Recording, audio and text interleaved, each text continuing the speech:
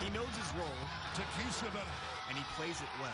Send it in Jerome. We create a lot of chances, and I'm lucky I'm at the end of it. My job is to score. And score he has for Locomotive FC. Jerome Kiesewetter signed with El Paso four matches into its inaugural season and has netted a ridiculous seven goals on just 21 shots, all in the last five matches. He's become the scoring threat Los Locos desperately needed. Jerome's a high level player. Every time we bring a high level player in, everyone's game seems to go up a notch because a good player makes people around him better. We keep the, keep the ball moving. We just don't we don't just kick it long and hope for the best. And that's I think what attractive footballs look like. It was quite the feat for Locomotive FC to score Kiesewetter.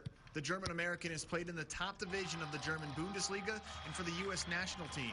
But Mark Lowry offered him the chance to be the guy for El Paso, and he just couldn't pass it up.